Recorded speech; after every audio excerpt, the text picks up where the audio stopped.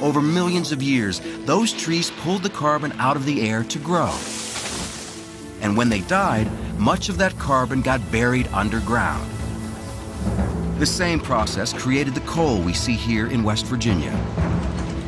Coal is up to 86% carbon.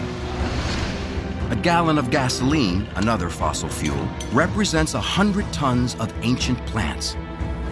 That's why gas, coal, and oil are called fossil fuels.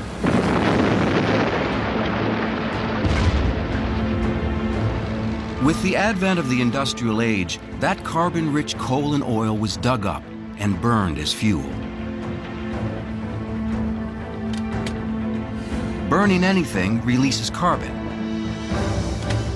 But carbon-dense coal and oil release a lot. That carbon, long buried, combines with oxygen in the Earth's atmosphere and acts like a blanket, trapping heat. This NASA map shows global temperatures rising over the last century.